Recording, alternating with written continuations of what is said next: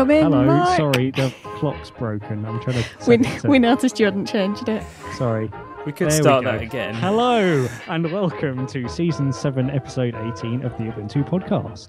In this episode, we'll interview Graham Binns from the MAAS project at Canonical, and we'll read your feedback. If you're listening live, you can send us messages using the chat thing on the website and in the UPC IRC channel on Freenode. I'm Mark, and joining me remotely through the wonders of the internet are Tony, Hello.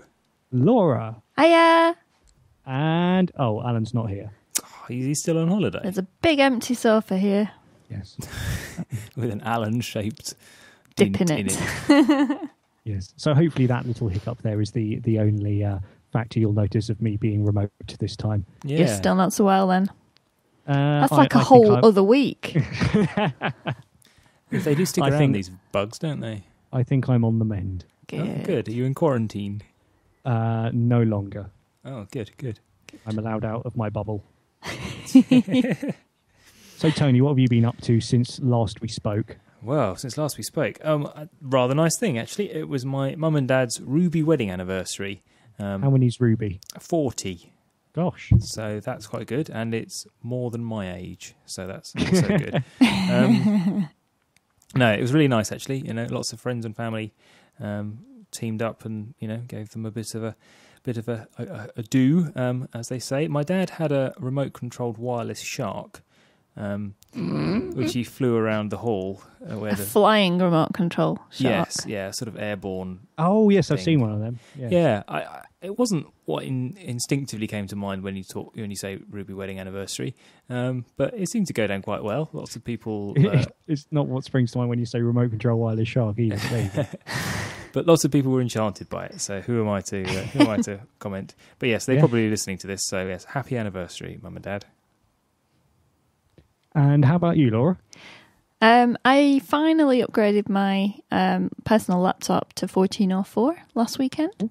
All go well? Uh, yes. It origi- um, well, I noticed your hesitation. Well, the uh, that went fine.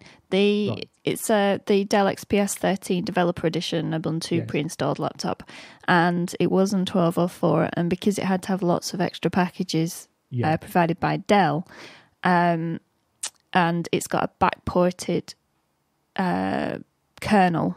right. Um, and I think it was the backported kernel bit that meant that I either had to upgrade or I could just upgrade the kernel bit with this extra hardware support. And I figured, Okay. so I figured, nah, I'll just upgrade to 1404, not th- really thinking about it. And of course, because I think because there were all these extra Dell packages on in the first place, Mm. that made the ordinary upgrade not work very well. So um, I managed. I So could get Adele, Adele providing updated packages for 1404 for the extra bits it needs. they're all in the repositories now. Oh, okay, brilliant. Yeah, so that was the thing. I think they had all these ones from the separate repository, and they were all Yes. Ah, conflicting it with the new to, uh, ones. right, I see. Yes. So I should have thought about that really, but um, yeah, I couldn't get the X part of the operating system to run. So I figured rather than faffing around for ages, and probably because all these packages weren't working, I actually managed to just reinstall it. Uh, and that bit was fine. Copying direct, copying data off and back and stuff wasn't quite so quick, but um, the actual installation was brilliant, and it just works. Cool. Um, so yeah, and then today I had the screen replaced. What about you, Mark? Um, I rescued some Super Nintendo games. Um, there were so sometimes around my area, people will leave stuff like on the grass verge outside their house, which they're getting rid of a sort of informal free cycle thing. And someone had left okay. a box containing a SNES and a load of old games out in the rain. So I figured that it was uh, unloved and uncared for. And they they'd left some really classic games. So I'm going to crack out my SNES from the loft when I get the chance. Um, having verified that they're not full of water. One of them looks like the battery's leaked all inside it. Um, so I might have to replace that and clean it up a bit. But other than that, um, yeah, I'm really looking forward to it. It's all games like the original Donkey Kong Country and The Legend of Zelda and a load of like really classic titles which I never actually had. Tony's looking really excited about this. Yeah, I know all about those things. He's Um, not Well, next time next time you're over, Tony, we'll have a game of Super Mario Kart. How about that? Okay, that sounds good. You can only play that on the Nintendo Wii. Yeah. Uh, right. Okay. Cool. Well, uh, sounds like everybody's had a busy, busy week or so. Um, let's get on and talk to Graham Binns.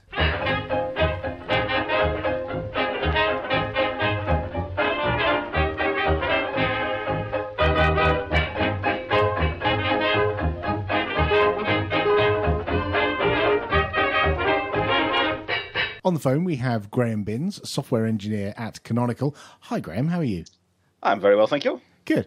Uh, we've spoken in the past about uh, work you've done. I think we talked about Launchpad, but you've moved on to different things now. I understand you work on MAAS. Is that right? I do, yes. Right. So MAAS, M A A S. I'm a complete idiot. Tell me what MAAS is. Okay, so uh, actually, I googled this before um, before you filmed. Hang on, just- that's- I- That's more research than we've done. That doesn't, that doesn't bode 'cause- well. well, I wanted to, I wanted to know if we were at the top of the list, and we are. But also, Google gives me the definition that Mars, M A A S, um, is a South African, presumably Afrikaans name for thick, naturally soured milk. That's not what I'm here to talk about, but I, I just found it Okay. interesting. Um, I fear yeah, we may so- have the wrong podcast. um, milk as a service. Anyway, um, so Mars or Mars or Mars or however different people pronounce it, there is no canonical um, correct way of doing it. Um, no, that was a not an intentional pun. Is it stands for metal as a service, Is this uh, John Um, O'Bacon's new band? Then? which basically means that we can take using MAAS. You can take hardware servers, a rack of servers, two racks of servers, however many you happen to own, and um, start treating them as though they were machines in the cloud. So you can start uh, spinning up machines as you need them, deploying workloads onto them, and then when you're done with them, uh, tear them down until the next time you need them, do something else. That's the the quick version. Right. So you know you could you could probably already do that with other software. What what what does what's the unique selling point of MAAS that you know I, I know I know there are data centers around the world that have servers in them where there are workloads on them. and I, I'm, I, I'm, I'm pretty you that sure that happened before MAAS. So what, what's the USP of MAAS? The USP of MAAS is that it actually the real USP of MAAS is the fact that it talks to Juju. If we to to overstretch a metaphor to the point where it's about to snap, um, MAAS is the device driver to Juju's operating system. So. Um, Just What one ma- moment while we think we're, that we're- through. we're processing that.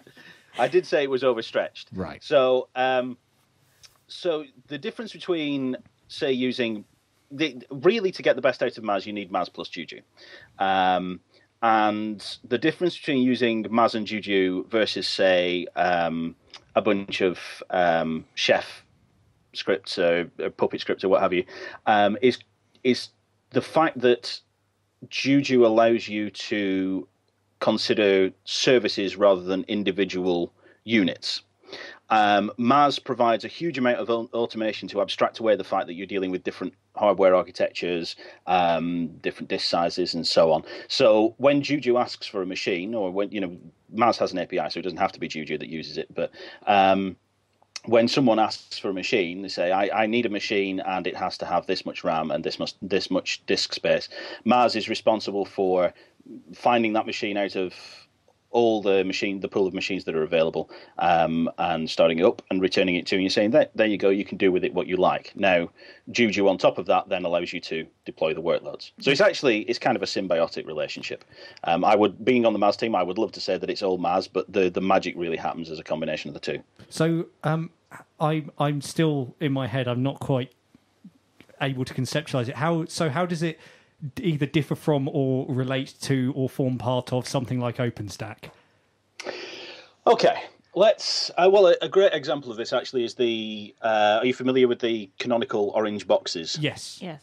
Okay, so the orange box is ten uh, Intel next unit of computings, next Yeah. units of computing, um, and the way that MAAS would work there is that it sits on one of those nodes, node Okay. zero, Yeah. and it knows about all the other 9 It knows their hardware specs, it knows their MAC addresses, it knows how to turn them on, turn them off, um, and it knows whether they've been assigned to a user, what have you. Using once once you've got that set up and you've got Juju set up to talk to that MAAS instance, what you can say using Juju is essentially Juju deploy OpenStack. It's a little bit more complicated than that, but for the sake of a quick hand wave. Um, and then what Juju does is it goes away and it says, "Well, I need one machine for this, please, MAAS, and I need another machine for that, and I need this spec here." And um, MAAS is responsible for starting those machines up and saying, "Yep, there you go, Juju," and Juju can then do the work of deploying stuff onto them. Um, now, the upshot of that is, as uh, Mark Shuttleworth demonstrated at the last OpenStack Summit, um, using a combination of uh, MAAS and Juju, you can actually dis- deploy an entire open stack on one of those orange boxes in about 25 minutes. Right. So you, you're starting from uh, okay. You you've got a, a head start in that one of the nodes is already installed with, for example, Ubuntu and MAAS. So you're not going completely from zero, are you? In in 25 minutes. Um, no, but in actual fact, the from the point of installing MAAS to having a working MAAS cluster, um, with the with the exception of having to download boot images, which takes a while because um, we we have to um, boot the nodes once with an ephemeral instance of Ubuntu that we then throw away. That just just so that we can inventory them.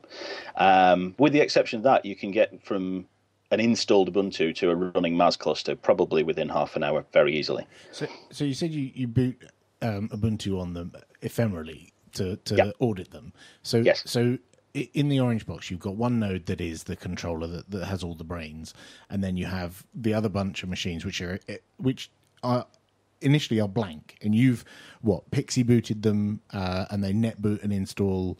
It runs, it gathers information, and then feeds that back to the MAAS controller that has a database of these are all the nodes that I know about, so that when you come along and want to deploy a workload, it knows what nodes are around. Yes. Yes. Huh. Exactly. That's that is exactly what happened. I think he's got it, man. yes. The the sound of the other shoe. Um, so is it? Hold on a minute. so if you've got a MAAS, is that is it like virtualization but plus a lot more management, or is it?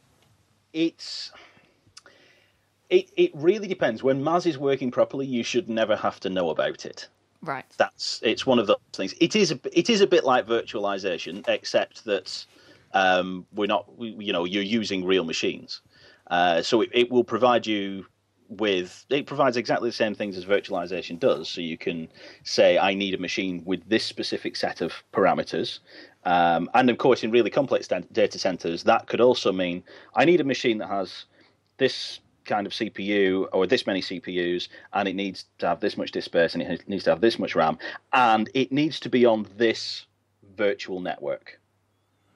Right. And MAAS will take care of all of that.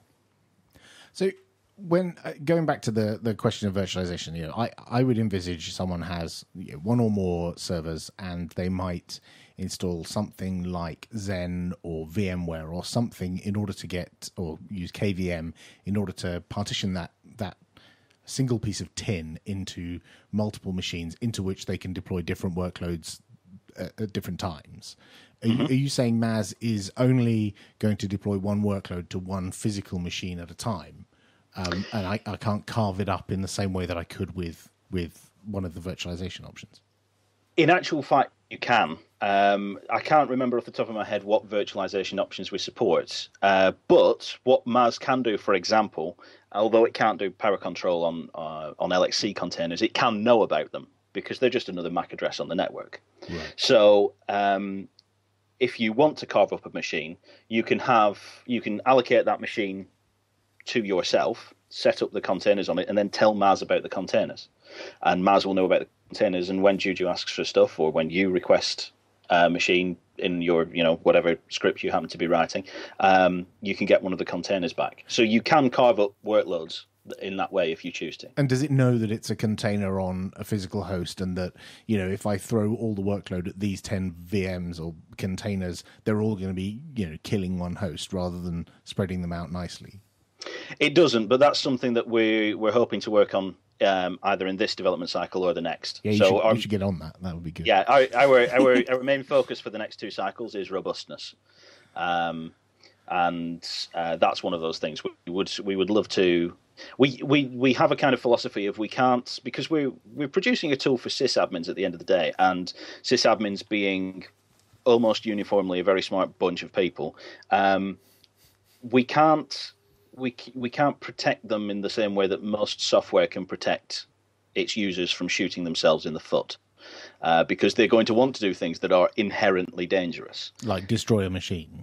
Yes, exactly. Right. Um, but we we are one of the things that we want to do is is make MAAS uh, a more robust in the face of failure because occasionally, right now, um, it it isn't. Um, but also, we want to put safeguards in place so we, you know we can essentially have the the sysadmin say, "I want to deploy this workload." Um, it is the, the equivalent of saying, uh, "I want to do this minus minus yes." Right. No. So once I, once I've got my workload deployed, let's say for example I've got one of those funky orange boxes and I've Yep. deployed a workload, and then I want to send it somewhere else, like into the data center, rather than because this this orange box has got to go back, and uh, you know I want to do it for real. I've I've done my development. I want to push it somewhere like sane. You know, am I talking? I have to go and get a bunch of machines in my data center, or can I can I throw that workload at like Amazon EC2 or HP or Azure or something? Uh, Do I or do I have to have physical hardware? This is this is where the, the magic of Juju comes in because you would you would be building your workload using Juju. Um, so MAAS is literally giving is all that MAAS is MAAS cares about is giving you back the hardware that you need, and you do all of the orchestration work in Juju. Um, one of the most disappointing, not disappointing, but most annoying things when I'm talking about this stuff is that Juju used to be called Ensemble, and orchestration and Ensemble go really well together. And Juju is all about magic, um, and it's it's not it, it's I don't think it's magic, but it's very very cool. And what would happen is you would uh, you sort your workload out, you get it working, you tune it exactly how you want. You can then from Juju save what's called a bundle, which is essentially a set of scripts that tells Juju how to set this workload up. And then you can use Juju uh, in, I think we pretty much support every cloud going.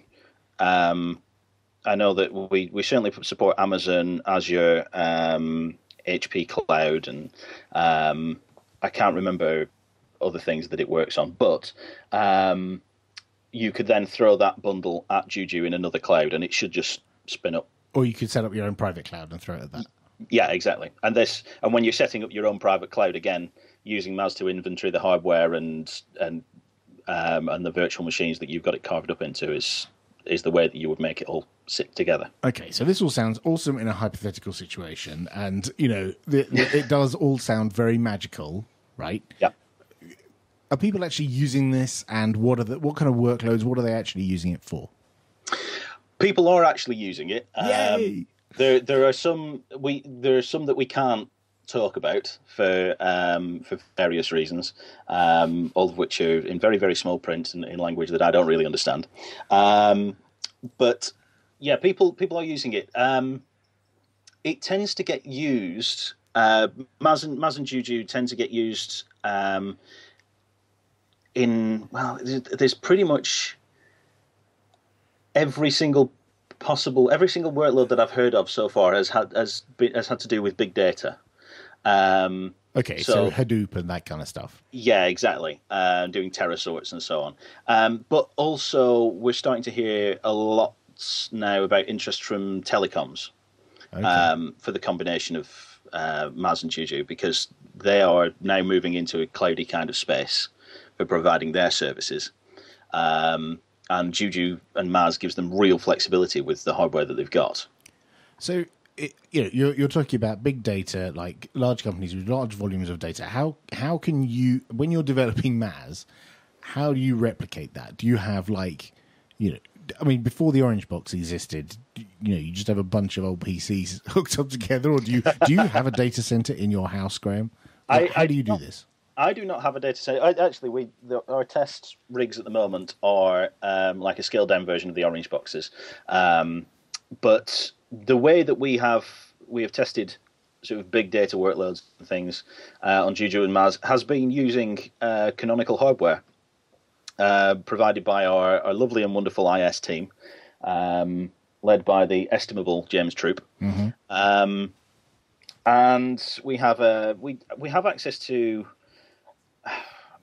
quite a lot of different types of hardware. Um, the the ones that we we test things out on a lot are uh, fairly bog standard servers, uh, so just you know Intel x86 boxes with a um, with a BMC attached so that we can do power control. But we also test things out on um, SeaMicro clusters and uh, such like.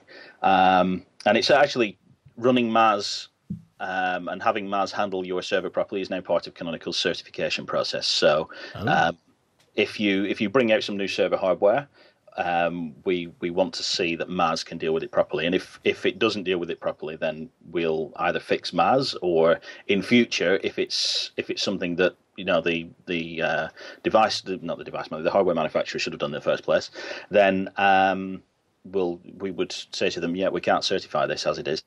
So it, it it does sound like you you can go from like something as small as a NUC up, Mm-hmm. up to you know big data centers full of lots of machines. Are there, Yes. are, there, are there any like extreme limitations on like how many machines on the network you can discover and manage, or what, what limitations have you found with it so far? Like the, bound, the boundaries. we haven't found we haven't found the limitations yet. Uh, I can't remember the. the Have you looked was a- under the sofa?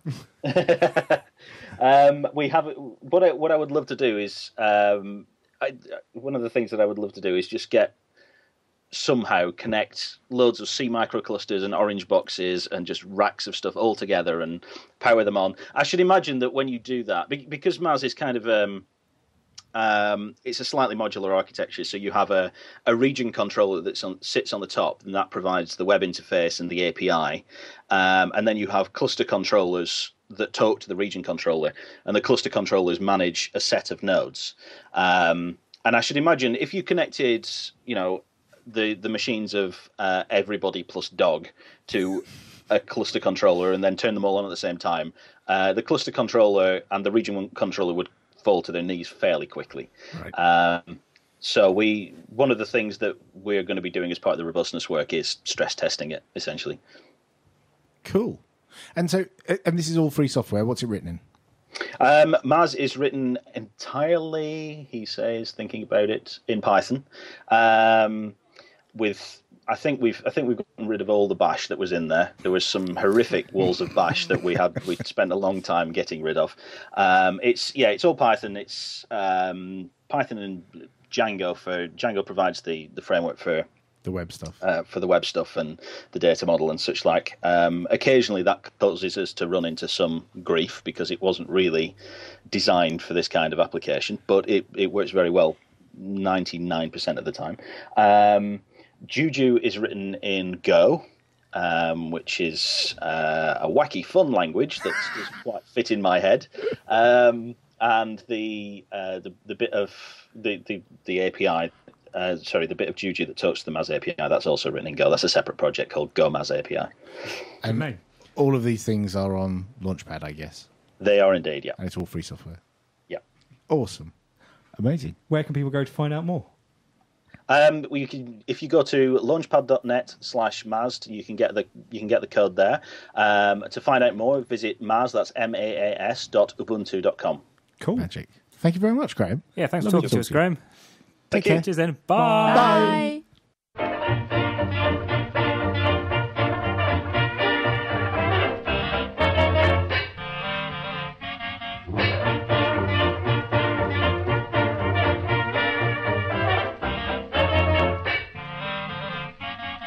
It's time for Command Line Love. And uh, this one was submitted by a listener, Tor Gausen, who was written in to tell us about the command RL wrap. That's RL wrap. Mark. Yeah, Mark, please tell us what this means. Yeah, so it took me a while to work out what this actually does. So imagine you have a command where you run the command and it then gives you a prompt for some input and you type some text and then you type the wrong thing and then you press the left key to go back and then it inserts a load of escape characters and then you fail miserably and you hit control C and start again. Happens every day. Yes. So what you could have done there is you could have preceded your command with RL wrap, which then wraps it using GNU readline, which then gives you better line editing. So it means that you can do things like navigate it with the keys and press up and down to scroll back through history and things like that. Okay, so it sort of replaces the entry bit of the program with a better one. Yes, pretty much. Okay, what are the useful ways you could use that other than the things you've described? If you don't have Um, Nano on your system, Uh, well, it's not really. It's not really a replacement for a, a text editor. Yeah. It's really. It's for when you're inputting inputting text into a into a prompt in a command line utility. yeah. So, like you know, I've written a um, a script which reads in various bits of text for doing various jobs. Like it's a DVD ripping thing, which then asks you which chapters you want to rip and so on, and so it could be useful for enhancing the prompts in that. Um, Hmm, but there's there's a few examples that Tor's given us, um, such as uh, oh, you can so um, so you can use the the history from a previous session as well by giving it the flag dash h. So if you're knocking together a quick and dirty bash script, you could call either your whole bash script, I guess, or bits of a bash script using RL wrap and, and make it a bit more user friendly. Yes. Interesting. So there's a link that Tor sent us, which we'll put into the show notes, um, and then you can find out a bit more about how to use RL wrap and how to make it work for you. That's the end of the command line love.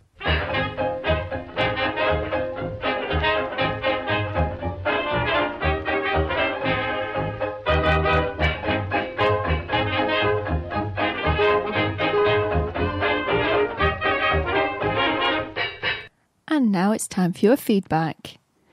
Um, we've got an email from Jana or Jana in Bangalore in India who started listening or is actually regular listens now to the podcast, um, mostly offline when it, um, when the during a commute to the office. I really love the Ubuntu podcast. I love Ubuntu and find this podcast is the best on this topic. Also, you cover the breadth of it with all topics related to Ubuntu and not just Ubuntu. And now, for the weirdest reason uh, why I like the podcast, I find your laughs not irritating. That's a Oh. good, um, yeah, It's a good praise. reason to listen, yeah. Yeah. Um, I hear other podcasts like Twit. What's that one? Twit This, week, in tech. Tech. And or this week in Google, and they laugh so much, but I might not get the American joke or phrase, and I'll be like, "What was that?" So your podcast is really soothing to my ears and pleasant. Oh, that's Well, really nice, that's to hear. Yeah, Yes. it's always nice to hear from people who listen around the world as well. Yeah, It makes it really weird yeah, for us. that is but really it's, really cool. Yes. I do always make the effort when someone makes me laugh not to laugh directly down my microphone Yeah, and I because it worries me that, that yeah I'm bursting some poor listener's eardrums in the process. yeah, that's that's good. yeah, and it's good that somebody doesn't find our laughs irritating. So And Mike Bartosh emailed in. I just joined the Ubuntu 1204 crew this year and I'm loving it. Really easy to use, and so far does everything I've wanted, including running Oracle XE, Tomcat, and Eclipse. You were discussing alternatives for Ubuntu 1 a wee way back, but no one mentioned Grive, which is Ubuntu's answer to G Drive. I've installed this and it works well. It saved me having to have another account with another provider and yet another password. Okay, so G Drive presumably is the thing that allows you to use your Google Drive for storing stuff, Yes. and, And uh, Grive is a, uh, an open source client for syncing files with Google Drive on Ubuntu ah, and other Linuxes. yeah, I don't think we did mention that. So thanks No, for we emailing in, Mike. Um, and it, it's a good it's a good point as why he wants to use it because I mean pretty much everybody has a uh, a Google account for one reason or another. So it is Yeah. kind of handy just to be able to not have to go to another service and sign up with them. Yeah, You can just say, "Oh, I'll use that that login I've already got," and you've got all the space. Yeah, nice one. Thank you, Mike. And Dr. Jellyface said on Twitter, I'd like to say hello. That was, well, that was hi, about Doctor it. Jellyface. hi, Doctor Nice to hear from you. Jellyface. I wonder if that's uh, his real name. And I wonder if he's a genuine medical doctor. Or she? Or Let she. us know. Yes, this is true. I assumed, didn't I? I'm naughty. Jellyfish is such a masculine name. yeah, yeah. yes. Well, perhaps Dr. Jellyface could let us know and confirm one way or the other. Um, yeah. And, Anyway, uh, if you if you are a medical doctor, there, I've got this this thing on my back which I could really do with you. Uh, with Please, taking- can we stop? Ew, that's quite disgusting. Um, that's the end of your feedback, thankfully. The Ubuntu podcast needs you. Yes, you. If you hear something that enthralls, exasperates, or elevates you, tweet at UUPC or email podcast at ubuntu-uk.org. You can also talk to us on the telephone, Skype, Facebook, and Google+. Find links to all these places on our website, podcast.ubuntu-uk.org. Please do get in touch. I mean it. Just one message, just to know there's someone out there who cares. And that's all for this episode. Thank you very much for listening. Our next show will be on Wednesday, the 6th of August at half past eight in the evening. Is that- evening time. is that PM? UK. PM. Half 8 pm local time UK Yes. in the That- evening, Yeah. Yes. 2030. Standard by five. Standard by 5. Isn't that a speed? Oh, sorry. Yes. I don't know. Well, thank you for joining us, Mark, for from How many your. parsecs is it? Uh, it's, I don't know. I, the Kessel Run, I don't know. There's a geek reference in there Wasn't- somewhere. Did I hear Alan earlier? Uh, ah, yes, you did. You did hear Alan. You might have hit on our uh, little secret. about- Where is he? Are we supposed to have stopped talking by now? Yeah, a long time ago, but that's fine. Um, yes, so you might have heard in our little uh, interview segment that we did earlier with Graham Binns, um, one Mr. Alan Pope um, that has given away the fact that that interview with Graham was actually recorded um, last uh, during the last live episode, wasn't it? And Yes. We kept it back. We were so excited to be able to talk to him. We kept it back for another couple of weeks, and uh, hence Alan being in it. Um, but hopefully, Alan will be back actually with us in person, filling his gap in the sofa uh, in the way only he can Uh-huh. uh, for the next live shows, which are in just Two two, weeks. weeks. if you're listening live, or One week. six or six days if you're listening to the download on the day it was released. Which one? This one, Oh yeah, this one. right? It's definitely time for us to go. Bye bye. Bye.